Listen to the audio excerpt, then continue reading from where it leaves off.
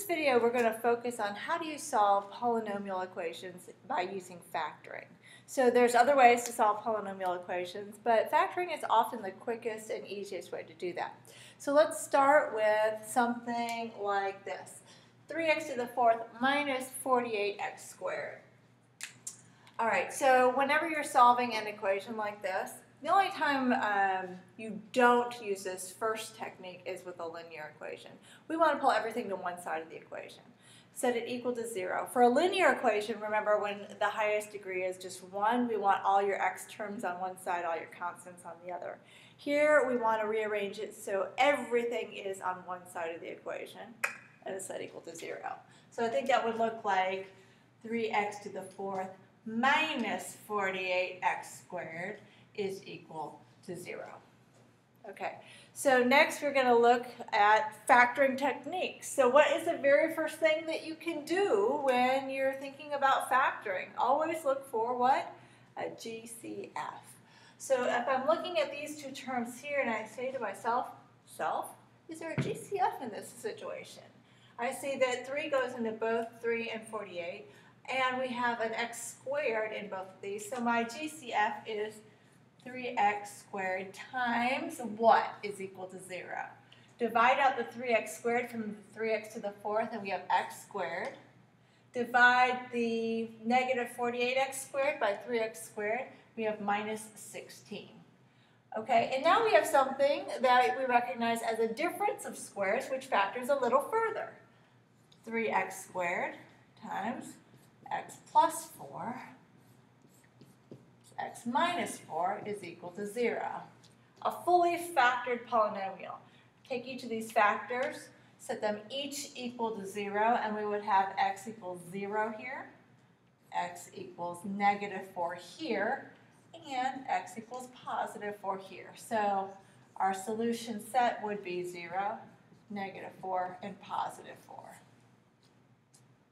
All right, so the next example we're going to look at is something like this. 3x cubed minus 12x is equal to negative 2x squared plus 8. Polynomial, mixed um, degrees on two sides of the equation. Always move it over to one side of the equation. We're going to push it all, over to the left. And then we're going to um, put it in standard form. We're going to do that all in one step. So we're going to add the 2x squared, we're going to subtract the 8, and that should look like this. 3x cubed plus 2x squared minus 12x minus 8 equals 0. Fantastic. Okay, so now we've got this four-term cubic. Um, what's the first thing that should come to your mind? Factor by grouping. Looking at these first two terms, I see x squared can come out of both. So I would have a 3x plus 2. Keep this minus, and I look at 12x and 8. What's the GCF there? I believe that to be 4. And we have what? Um, negative 12x divided by negative 4 is 3x. Negative 8 divided by negative 4 is plus 2. So 3x plus 2 is equal to 0. Taking the GCF out of these two groups, I have 3x plus 2 times x squared minus 4 is equal to 0. Difference of squares factors a little bit more. So 3x plus 2, x plus 2, x minus 2 equals 0. And now fully factored, we can easily find the solutions here. x is equal to negative 2 thirds when I set this one equal to 0 x is equal to negative 2 when I set this one equal to 0, and x is equal to 2 here. So our solution set, negative 2, negative 2 thirds, and 2. Okay, for this example, we're going to start the same way. Let's look at bringing everything to one side of the equal sign, and that should look like this. 2x to the fourth minus 16x is equal to 0. Again, first rule of factoring, we're thinking about GCF. And it looks like with these two terms, I can pull out or divide out a 2x, and I would have x cubed minus 8 is equal to 0. Now it looks like, hmm, I think that this is a difference of cubes. So we have to use that sum and difference of cubes pattern. believe that to be the cube root of the first term, use the same sign, the cube root of the second term. So we have a binomial here, and then we build this trinomial from this. Square, multiply, square. And then the signage in this trinomial is going to be uh, opposite sign. So this is negative, this would be positive, and this is always positive. And you may know this acronym, same, opposite, always, positive, to remind you of the correct signs.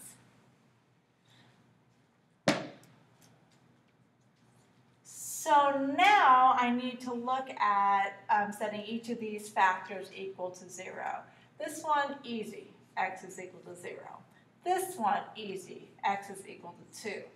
This one, not so easy because it doesn't factor any further, which means I need to go on and use the quadratic formula. So x here is equal to negative b plus or minus the square root of b squared minus 4 times A times C, and that whole thing is all over 2 times A. All right, let's clean this bad boy up. Negative 2 plus or minus radical 4 minus 4 times 1 times 4, 16 all over 2. All right, keep simplifying. 2 plus or minus ne radical negative 12 all over 2. All right, keep going. When we simplify radical negative 12, it's 2i radical 3. 2 plus or minus 2i radical 3, which then we can simplify into this piece, 1 plus or minus this piece, i radical 3. So what is our solution set for this whole big equation? We have four solutions, 0, 2, 1 plus i radical 3, and 1 minus i radical 3. For this example, we have x to the fourth minus 5x squared plus 4 is equal to 0. We can use our um, using a u substitution technique that we talked about when we talked about quadratics. And if you're unfamiliar with that technique, you can use it anytime an equation is in what's called quadratic form. We recognize something in quadratic form when the power of the first term is exactly double the power of the second term. And when that is the case, we make this um, statement that u is equal to, that kind of sounds weird, right? u is equal to the middle variable portion, x squared. U squared then is equal to this thing squared, and it's always going to end up being what's in front. And then we rewrite this equation in terms of u. So x to the fourth is u squared minus 5 times x squared is equal to u plus 4 equals 0. Now we're in a strictly quadratic equation. So let's see, I think this factors to u minus 4, u minus 1 is equal to 0, and u is equal to 4, and u is equal to 1. But this does not actually solve the equation because our original equation was written in terms of x. So now we substitute back in our x. What was u equal to? u was equal to x squared. So let's put it back. x squared equals 4. And x squared is equal to 1. We don't put this back in at all because we don't have a u squared here. All we have is u and u. So now solve these. If x squared is 4, then x is plus or minus 2, the square root of 4. If x squared is 1, then x is equal to plus or minus 1. So our solution set, negative 2, negative 1, positive 1, positive 2, and we're good to go. Last example over here, same kind of thing. We're going to move everything to one side of the equation, and it looks like one power is exactly double the other, so we can use that same technique.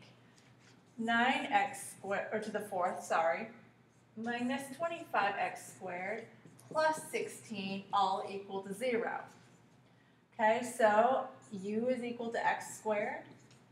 u squared is equal to x to the fourth.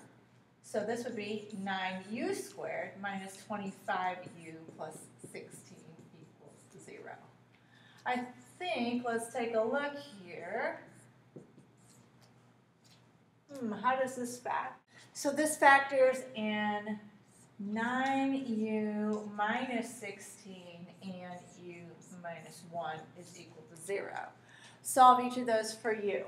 u is equal to 16 over 9 and u is equal to 1. Now let's go back and put our x's back into the equation. x squared is equal to 16 over 9 and x squared is equal to 1.